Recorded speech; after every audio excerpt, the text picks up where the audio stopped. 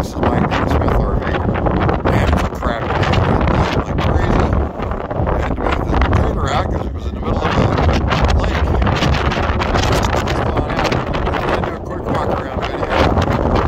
Make it quick because it's terrible out here. It'll have a brand new battery on it. Actually, two batteries. It's in great shape. It's got the Torx axles underneath of it. Tires are in good shape. Good times. Wow. The wind is crazy. And uh, outside kitchen in the back here, which is kind of nice. There's a little bit of fading on the blue on this side, but other than that, it looks really good. We walk inside here. Whew. Man, I'm ready for some nice weather. Anyway, got a big U-shaped dinette up front. And that's just a kind of a little summary of what we've already done to this. And to slide out, you've got the refrigerator, a microwave. There's a two burner cooktop with storage underneath. And this has got the two bunks back in the back corner.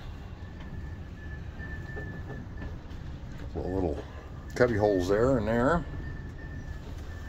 And those go back in there a ways. And hopefully it shows up on this video. And this has got a little wet bath with it.